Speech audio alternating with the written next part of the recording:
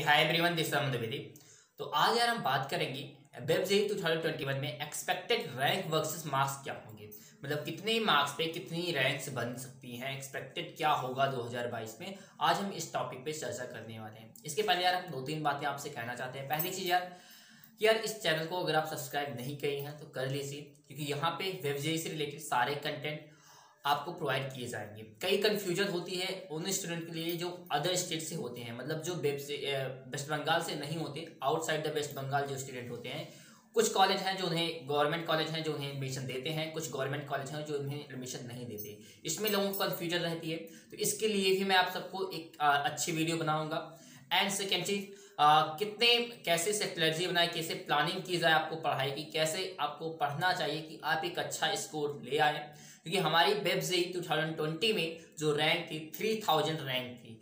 तो आपको अपने एक्सपीरियंस के थ्रू इस चीज़ को समझा रहा हूँ तो सबसे पहले यार आज की वीडियो स्टार्ट करते हैं और समझते हैं कि आ, किस मार्क्स पे कितनी रैंक एक्सपेक्टेड हो सकती हैं 2022 में।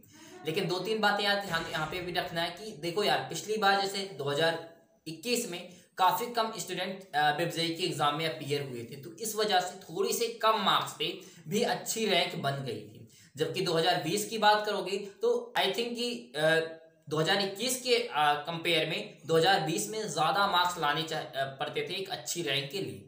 तो एक चीज़ था लेकिन मैंने सारे स्टूडेंट का फीडबैक लिया है जो 2020 में अपियर हुए हैं 21 में अपियर हुए हैं इवन 2019 में जो स्टूडेंट अपियर हुए हैं फिर मैंने इस रैंक वर्सेस मार्क्स का एक कंटेंट तैयार किया है।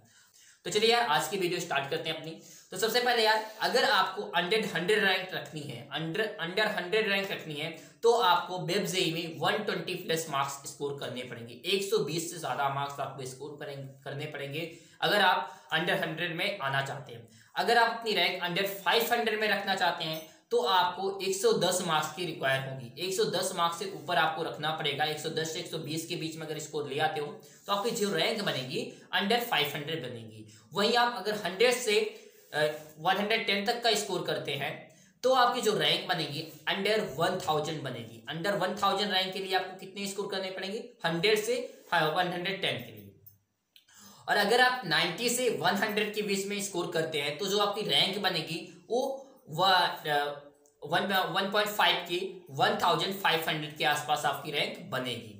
अगर आपका स्कोर 80 से 90 के बीच में होगा तो जो आपकी रैंक होगी, वो 2000 के आसपास होगी। और अगर आपका स्कोर 75 से 80 के बीच में होगा 75 से 80 के बीच में होगा तो जो आपकी रैंक बनेगी, वो 3000 रैंक बनेगी। और अगर आपका मार्क्स आपके मार्क्स 70 या 70 टू 75 होंगे तो आपकी जो रैंक बनेगी अंडर फाइव थाउज़ेंड बनेगी। तो अगर आप सेवेंटी मार्क्स लाते हो तो अंडर फाइव थाउज़ेंड रैंक ले आते हो तो आपके पास काफ़ी ज़्यादा ऑप्शन रहेंगे अच्छे कॉलेज में एडमिशन मिलने के। और अगर आपका मार्क सिक्सटी प्लस सिक्सटी से सेवेंटी के बीच में आता है, इस केस में आपकी जो रैंक रहेगी, वो टेन थाउज़ेंड के आसपास होगी। और अगर आपका मार्क्स फिफ्टी टू सिक्सटी के बीच में आता है इस केस में आपकी जो रैंक रहेगी, वो ट्वेंटी थाउज़ेंड के अंदर बनेगी। अगर पचास से साठ के के बीच आप स्कोर करते हैं तो जो आपकी रैंक बनेगी, वो किसके बीच में बनेगी? दस हज़ार से बीस हज़ार के बीच में आपकी रैंक बनेगी। वही अगर आप स्कोर इस एग्ज़ाम में फोर्टी प्लस करते हैं फोर्टी से ज़्यादा अगर आप स्कोर करते हैं फोर्टी से फिफ्टी के बीच में स्कोर करते हो, इस केस में जो आपकी रैंक बनने वाली है, वो थर्टी फाइव थाउज़ेंड से ट्वेंटी थाउज़ेंड के बीच में मिलने वाली है। अब यार अगर आपकी रैंक थर्टी फाइव थाउज़ेंड से भी नीचे जा रही है तो यार सॉरी कि यहाँ पे कोई आपको अच्छे प्राइवेट कॉलेज या फिर अच्छे कोई इंस्टीट्यूट गवर्नमेंट इंस्टीट्यूट शायद ही आपको मिल पाए। तो यार इससे नीचे के स्कोर्स काफ़ी वेस्ट है। इवन अगर आप बीस हज़ार के नीचे भी रैंक रख रहे हैं इवन दस हज़ार से नीचे रैंक रख रहे हैं तो चांसेस बहुत कम रहेंगे कि आपको एक अच्छा इंस्टीट्यूट मिल सके।